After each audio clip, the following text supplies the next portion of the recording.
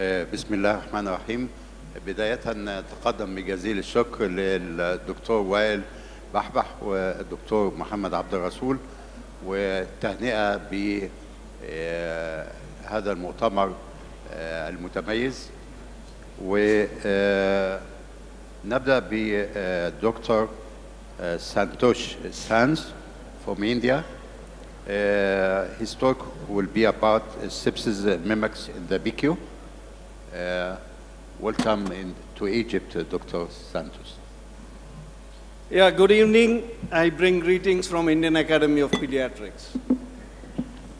And at the outset, let me thank the organizers for giving me this chance, a great conference, great academics, and great hospitality by the Egyptian Association. Being, in a, being an intensivist, we see many cases which we think that it could be septicemia, septic shock. Initial phase of resuscitation, we'll go through that. But many a times, even during other practice, your office practice also, many a times what happens is many of the disease mimic common disease unless you keep in mind that there may be a differential diagnosis or different one, you may be in trouble. So more than 50% of the patients identified and treated were sepsis I've got 50%. That's with the uh, BACTEC method. But if you have a old method, it is only about 30% culture proving even in the septic patient. Of the patients who are identified with the septic syndrome, septic shock syndrome, about 18% of them have non-infectious cause of condition which can mimic like sepsis. Let's see the global scenario, what it says. Sepsis-like presentation is seen in about 3% of cases of Kawasaki, 1% of DRESS syndrome, that is drug reaction with eosinophilia with systemic uh, symptoms, DRESS syndrome, about 13% of HLH can wrongly be treated as sepsis, and 2% of IEM, especially in the infants, can present with a septic shock in your PICU, and about 8% pro have of macrophage activating syndrome, which can mimic like sepsis. So let me go through about three cases which sort of a presence like sepsis, which can sort of uh, give you a problem. So this was one and a half year old child, which was admitted with fever, cough cold for three days, decreased intake, he had vomiting and hurried breathing since about few hours. Past history, he had two similar episodes, which was treated and he was fine with antibiotic and admission fluids. There was a history of consanguinity in the parents. There was history of a, another infant sibling death earlier. Child had moderate to mild developmental delay, but no other perinatal complications in this child.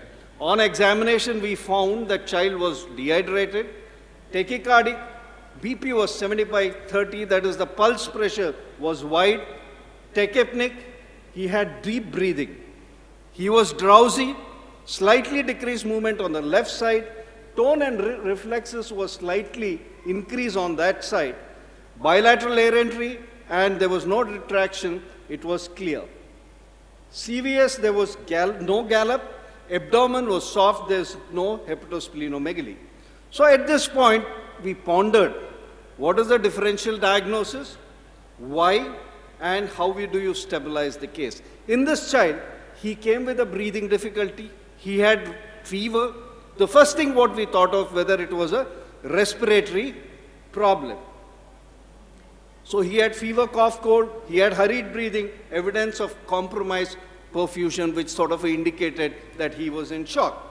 Or was it something like myocarditis? You know, it's very important for us between the age of about three months to about two years, child coming with respiratory symptoms, you should always keep in mind about myocarditis. So the viral symptomology was there and he had a compromised perfusion. What did we do? We stabilized him with fluids and reassessed. We gave him antibiotics. We sent the investigation, following investigation of complete blood count, CRP, blood culture, blood glucose, ABG, electrolytes, renal, hepatic, and also we sent for the CPKMB, chest X-ray was done, and CT MRI was done because the left side movement was less in this child. So we gave him, as per the PALS protocol, 20 ml per kg initial fluid bolus was given. Heart rate decreased for about 160, but didn't come down. BP was still on a lower side. CFT was sort of hovering between 3 to 4 seconds. Baby was still drowsy. Meantime, the ABG came back, which showed normal PO2. His pH was 7.25. There was metabolic acidosis. He was hyperventilating so that PCO2 was about 18. The lactate was high. Blood glucose was 140. There was 3 plus, uh, there was 3 plus ketones in the urine. So what to do next? Still there is a possibility of sepsis, we thought. We continue to resuscitate on the lines of septic and septic shock. We watched out for any cardiac, cardiogenic shock while resuscitating because, you know, if you're giving too much of fluid in myocarditis or child with a cardiac failure, then we are in trouble, pulmonary edema, and he'll go for a CCF and bud. Child received about 40 ml of kg of fluid bolus. Now the heart rate come down to 140. BP was 100 by 70. CFT had become normal, but child was still drowsy. We were, his shock was getting improved, but the child was not improving from his drowsiness. Respiratory rate was about 40, good air entry, clear, CVS, we did not hear any murmur, it was normal, there was no hepatosplenomegaly. So what is the next step as management, we thought, and we had reached the therapeutic endpoints of shock. Then drowsiness was not improving, it was commensurating with the shock improvement. Usually what happens in a child who's with a septic shock, as you sort of correct the shock, usually the, the drowsiness will improve. But was the, if you see the blood gas, the acidosis was continuing to be on a lower side. So at this time we thought, what do we do next? So we did the ABG. ABG showed the, something similar with the HCO3 of 8 lactate was high. By the time the electrolytes came, which was normal, creatinine, RFT was normal, hemoglobin, WBC count, everything was within the normal. Urine, ketone was 2 plus, but the rest was normal. So at this stage, MRI also which came in, which, which showed increased T2 intensity on a, this thing and a lower T1 hypo intensity on this. This usually occurs in any child who has got a metabolic disorder or a child who had a hypoxic ischemic insult in, in, during their time. So here we thought whether it was a inborn error of metabolism. So it's a time we suspected inborn errors of metabolism. Why? Acidosis, high lactate persist despite of correcting his shock. High ketones in the urine. Usually if the ketones should be there, if the blood glucose is high, you know it's a diabetic ketoacidosis. But here, high ketones, but the blood glucose was normal. So usually it occurs in IEMs. Consanguinity, there was a consanguinity, there was a sibling death in the child, and also developmental delay was there. So hemiparesis you cannot explain with the sepsis unless it is also accompanied by a meningitis or stroke-like symptoms. So it's very important. What do we do? We preceded with collecting the golden urine for the organic acidemia, serum amino acids for the uh, and uh, carnitine profile, serum ammonia, and also lactate pyruvate ratio was done, which was high. And we started IEM cocktail pending the reports and started on bicarbonate containing fluids. And dextrose was given about 5 to 8 milligram per kg with the insulin to achieve the anabolism.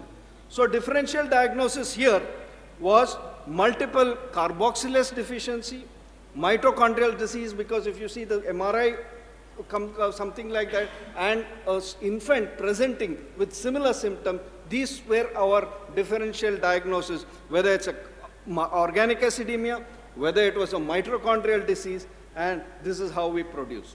What are the practical points at this time? the IEM, inborn errors of metabolism, can mimic sepsis in this age group. It may be, of course, many of the IEMs are precipitated by infections.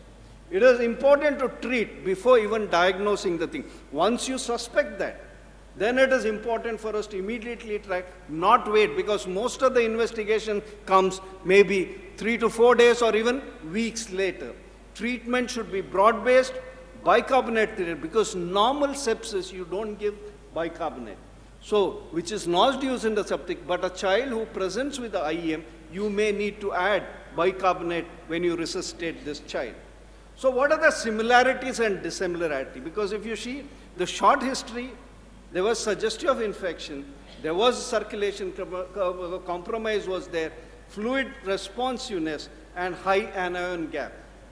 But what were the dissimilarities? High acidosis and a high lactate persist despite of you correcting the fluids, high ketones in the urine in the absence of hyperglycemia, history of consanguinity, previous infant sibling death, and developmental delay. So these are very important. It needs understanding the connection in the, and the confusion which otherwise occurs.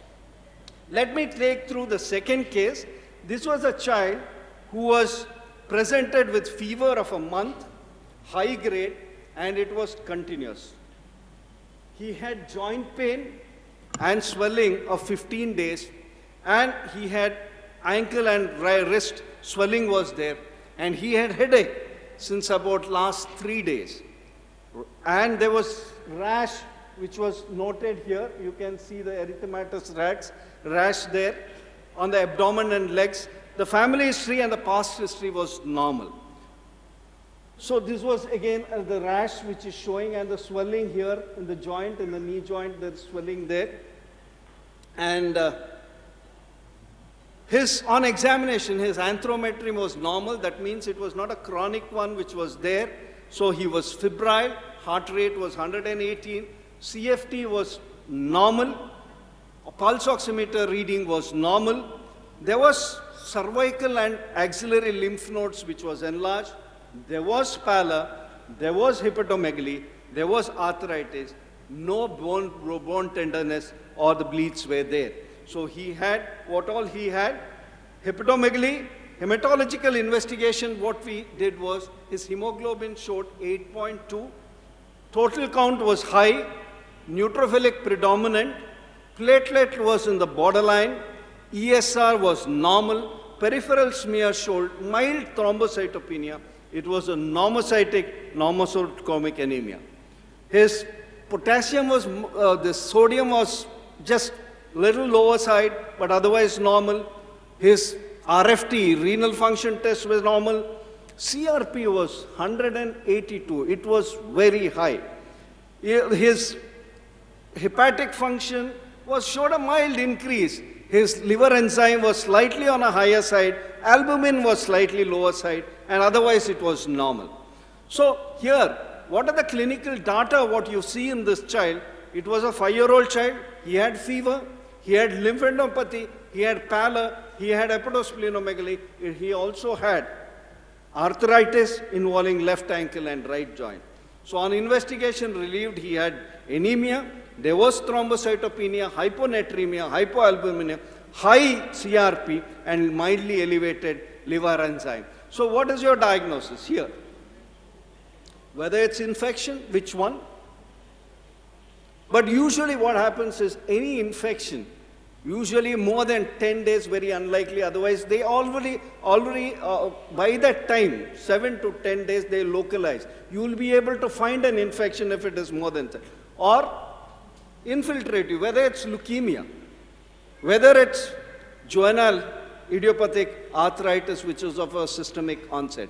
So fever can be only three. Either it's infection, it could be inflammation, or it should be oncological this thing. So what are the further investigation we planned at this stage? So we thought whether it is leukemia, we did a bone marrow.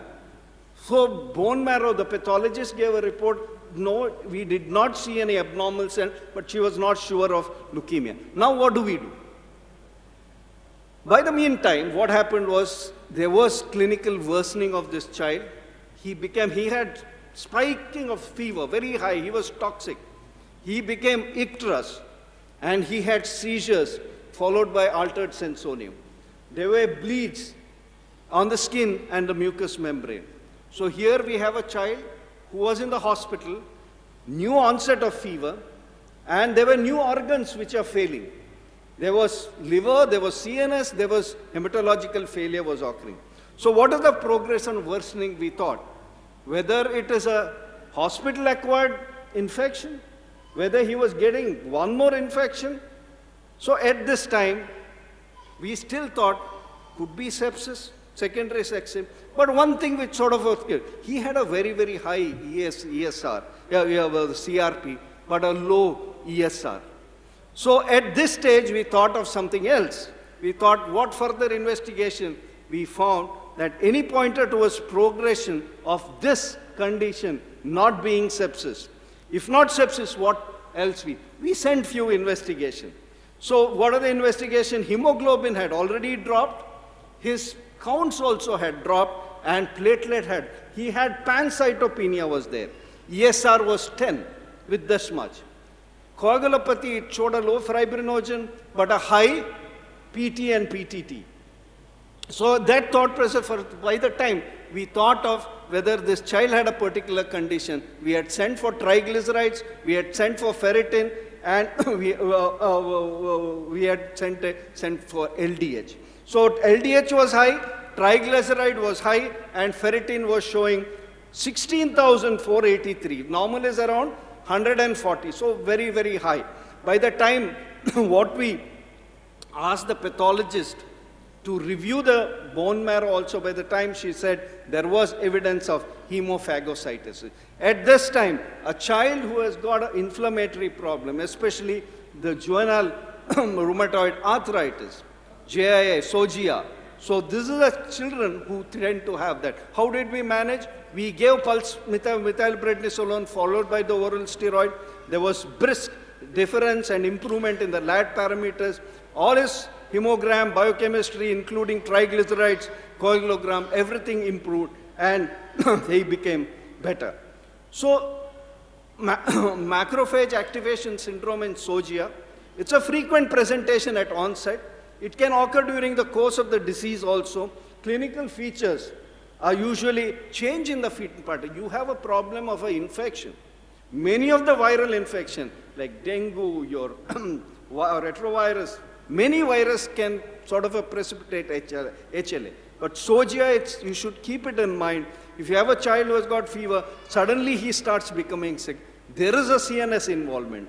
And there is bicytopenia, either hemoglobin or platelet drops down, or you have a WBC which comes down. But one thing is low ESR with the CRP. Because of fibrinogen consumption, the ESR sort of a falls down.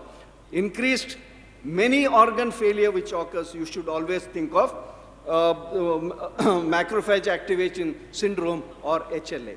So infection can be an important trigger.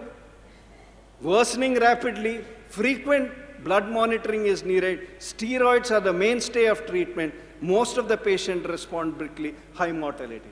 Many a times you may need to sort of uh, go up the steroids. Recently, I had a child with a dengue, many child, children with dengue going into HLH, where we had to use immunoglobulin, and one of the patient we had to use cyclosporin also.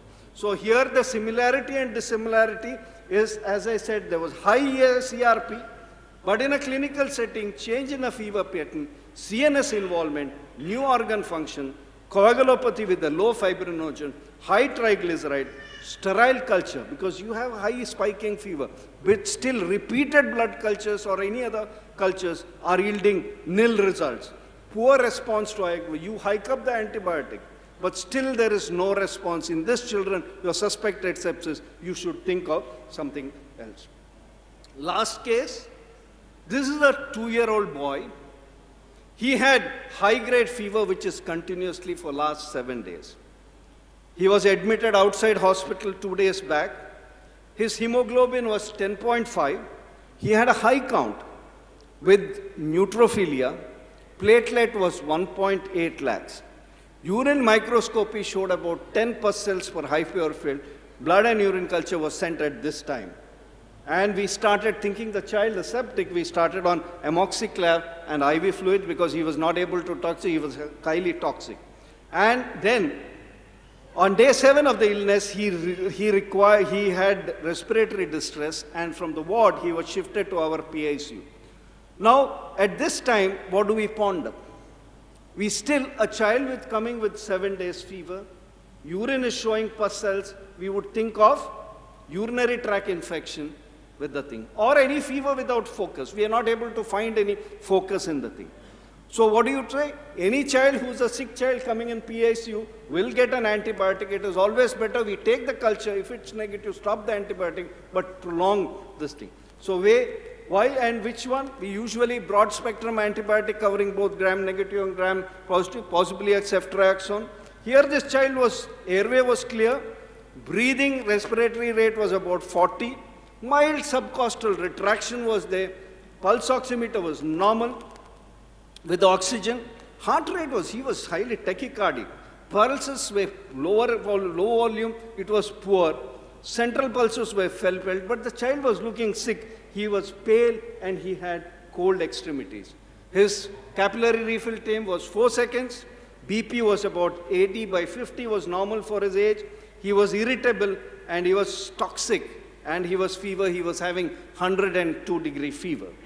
So at this time, what will be a physiological categorization? So he is in, this child is in a compensated shock because his blood pressure is normal. So cause for irritability, that's what we were wondering, what, whether he's got a meningitis, why he is so irritable with this thing. So possibly a sepsis-induced encephalopathy or something else. So here we started looking at his focus and by the time he's, he's, these are the symptoms what we got. That is there was erythematous rash. He started developing erythematous rash, but there was no lymphadenopathy. Joints were normal. Respiratory, there was mild basal crepitation. There was tachycardia. Gallop was there, but there was no murmur. Liver about 3 centimeter. He was conscious, but irritable. So assessment, respiratory distress with a compensated shock, cause of shock possibly a cardiogenic. He had mild tachycardia, basal crepitations was there. So at this time we thought whether it is a myocarditis or a myocardial dysfunction due to septic. We did a echo, echo showed a decreased left ventricular ejection fraction. Possibilities at this time we thought of whether it is viral myocarditis, possibly adenovirus or enterovirus, EB virus, leptospira, because here in India, in our place, the leptospira is common. And also rickettsial can present with rashes and lymphadenopathy and all that. So non-infective cause. Here we thought whether it is non-infective cause. By the time he had the typical strawberry tongue, so we thought of diagnosing uh, Kawasaki disease. At this stage, when a child who comes with a cardiac dysfunction, whether it's myocarditis or cardiac failure due to Kawasaki disease. So very important for us to sort of uh, make sure we don't overload the patient. They're going for pulmonary edema, go for respiratory distress, you may need to put the child on ventilator. So here we need to give a smaller aliquots of 5 ml per kg at this time. So you give normal saline, slow rate, any antibiotic. If you have already got a child who is diagnosed Kawasaki, then there is no need for antibiotic. What is a vasoactive agent? Either most, most of the time, cardiogenic shock, we use dobutamine as an inotropic agent. Any role? At this time, no, because unless they get into pulmonary edema, we use diuretics, otherwise there is no. What is the associated metabolic uh, abnormalities you look for cardio? Usually metabolic acidosis will be there and also they can have hyponatremia and uh, hyponatremia. So initial stabilization, you give oxygen, 5 ml per kg aliquots, Dobutamine, ceftriaxone as an antibiotic chalk, and most important is uh, uh, monitoring. So here, the next investigation, what we did, showed hemoglobin of 10. Total count was about 25. With 88, it had gone up. Platelet was 3.2. From 1.8, 3.2. This is a very important thing. If you say KDSS, Kawasaki disease shock syndrome, here most often the platelet counts may be normal in initial presentation because most of the time KD, when it comes that thrombocytosis is one of the clue which we make a diagnosis of Kawasaki. But KDSS, most often they have platelet which are normal. ESR was high, urine showed they have uh, the pus in the urine. CRP was very high. Chest X-ray showed cardiomegaly, lungs were normal. Um, blood gas was okay, except for um, little HCO3 was 18. RFT was normal, sodium was fine, SGPT was slightly on a higher side. Others are all normal except ECG showed ST elevation, cardiac enzymes was high, and echo dilated left ventricle with the ejection fraction of about 45. This is the child what he have. So what you should think now? You should think of the possibility of KD, and if it is there, as it's already been discussed, we give 2 gram, milligram per, 2 gram per kg of single dose of immunoglobulin over about 6 to 12 hours. And with that one, this thing, fever subsided within the next 24 hours, hemodynamically improved, blood and urine. Since it is there, on the day 6, we started on low dose aspirin and repeated echo after about 5 to 6 weeks. So when we should think of Kawasaki disease, fever more than 39 degree for at least 5 days, polymorphous exanthem, bilateral bulbar conjunctival injection uh, without the exudate. Changes in the lips and the cavity, oral cavity, erythema, fissured cracked lung, strawberry tongue, or diffuse injection of oral and pharyngeal mucosa.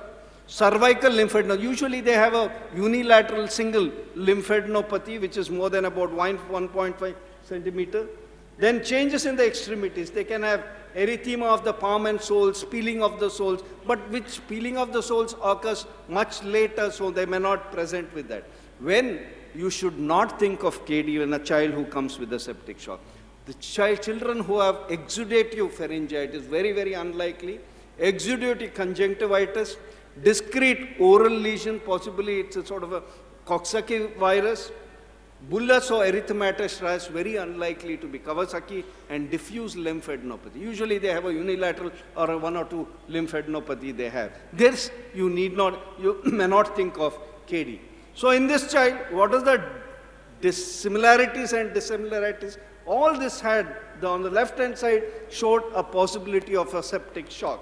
Five days of fever, any child, less than five, five days, five years, think of when the child comes with more than five days fever, think of any other abnormality, so you should keep Kawasaki in this thing. Here, all cultures were sterile, thrombocytosis, evolution of the rash, desquamation of etc. should be sort of a give you a sort of a red hearing. All signs may not be present. You, you know, have heard of incomplete KD, Kawasaki disease.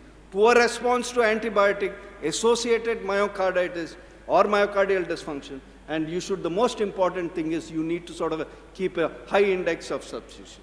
So take home messages. So several non-infectious illness at various stages may mimic sepsis syndrome in intensive care because when a child comes in the intensive care, he is sick. First thing for us to do is to sort of correct his shock. So, but you should always think that it may, may not be infectious septic shock. A non-infectious septic shock also can present like that. Fever, progressive, multi-organ dysfunction. When a child comes with that, you think of something else. Often clues to the underlying mimics are elicited.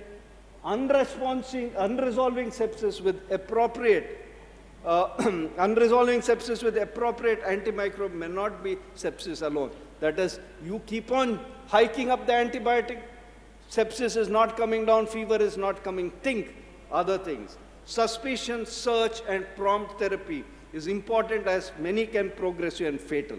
Nevertheless, sepsis is still the commonest. What we see, more than 70% we get as a septic shock which comes. Beware, the mimics are there, but are rare but you should always keep it in mind. Thank you so much for giving me the opportunity.